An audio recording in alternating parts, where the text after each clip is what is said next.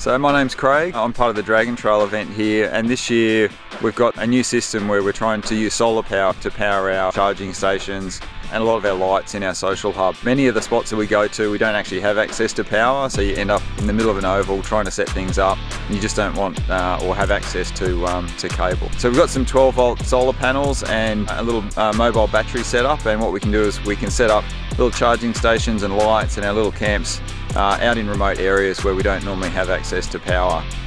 With our solar power, we've got some charging stations that uh, are also a little bit more sort of versatile for different events and the idea is that hopefully throughout Tasmania we can events can work together and use some of these resources to um, to support each other. We've got the mountain bike specific charging helmets but we've also got some generic charging stations that can be used in all sorts of locations.